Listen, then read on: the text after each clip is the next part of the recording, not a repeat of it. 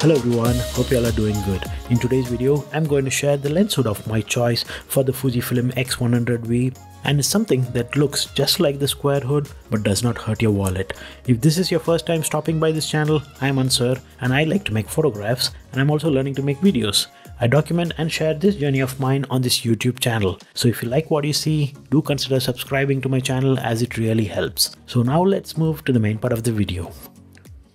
One of the nicest things of owning a Fujifilm camera is the desire to accessorize it and style it based on our needs and liking. From the shutter release to a thumb grip to half leather case and even different lens hoods for different lenses. Fujifilm themselves do sell some accessories for their cameras as well as for their lenses. So in today's video, I would like to share my favorite lens hood for the X100V. Out of the box, the X100V comes only with a dedicated lens cap. The lens cap can protect the front of your lens when not in use. It can effectively protect your valuable lens against some scratches, moisture, dust and fingerprints. The lens cap is also made of premium aluminum alloy and looks very durable and it's also lightweight and this metal construction matches very well the X100V styling. One of the biggest reasons why I wanted to replace the default lens cover was that it comes in the way for my style of shooting. Let me explain. I always go out to shoot in the street hoping to capture that decisive moment and something as simple as a lens cover can really be a spoiled sport. Removing the lens cap and then storing it and then taking the shot. The moment is no longer decisive and probably you're a tad bit too late.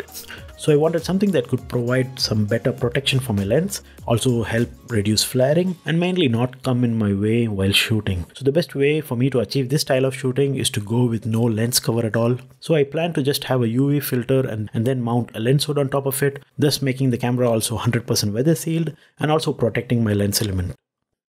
So even before I began my search, there was only one thing on my mind, square hood. It really goes well with the X100 series of cameras. In fact, I also feel that Fuji should start selling something like this for the X100V out of the box. But then I look at the price, I was like, no freaking way. I have to admit it's very pricey for a lens hood, a piece of beautifully crafted metal that costs 60 euros. I get reminded sometimes of the Apple ads for the unibody MacBook Pro. But then it gets a bit more ridiculous as the shipping is around 13 euros to my place in Belgium. That quickly adds up to around 73 euros and now I'm totally out of the race. I also took a look at the Fujifilm option, the LH-X100 that comes with a lens hood and also an adapter ring that costs as much as the square hood. So it was a no-go for me.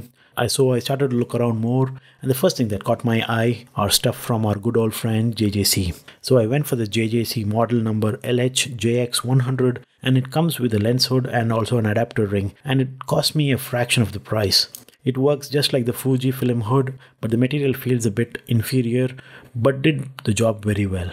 I was able to mount this lens hood on top of a UV filter and I was cool.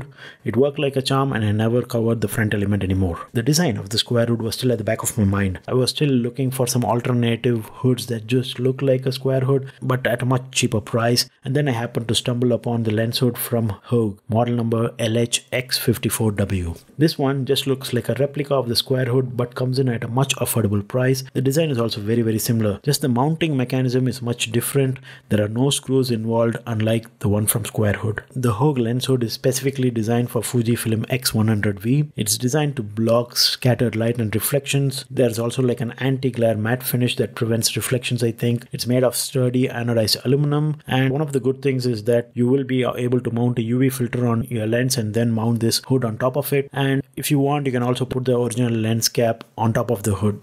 Based on my first impressions of the Haoge lens hood for the X100V, I really like it. It fits very well. It also comes with an adapter in the box. I was able to mount my UV filter and the lens hood on top of it, which and the mounting mechanism is pretty straightforward. You just need to give it a couple of tries to align it pretty right. One of my recommendation and also from what I've seen online is not to try to screw this lens hood too tight because sometimes they say that it can be a bit difficult to get this lens hood off. I've not experienced that so I did not tighten my lens hood too much. Just a bit of caution. The camera looks really beautiful with this lens hood and it seems to me that the color of the lens hood also matches the color of the camera. So finally now the camera is also now well protected and also weather sealed with a UV filter.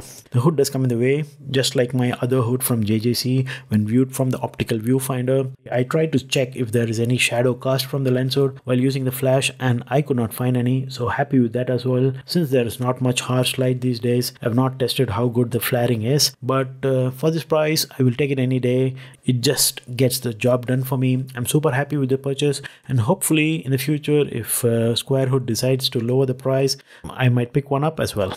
So if you enjoyed watching this video, hit that like button and share it with your friends and do consider subscribing to my channel as I hope to grow this channel with some quality content that you guys might enjoy watching and that I too enjoy making. So that's about it for today. So until the next one, take care and ciao ciao.